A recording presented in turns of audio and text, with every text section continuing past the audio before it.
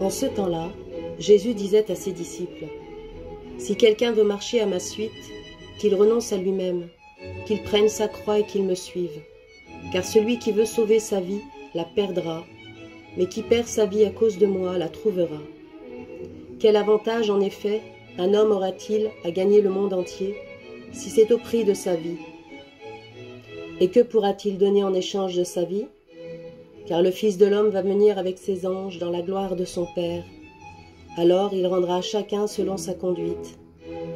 Amen, je vous le dis.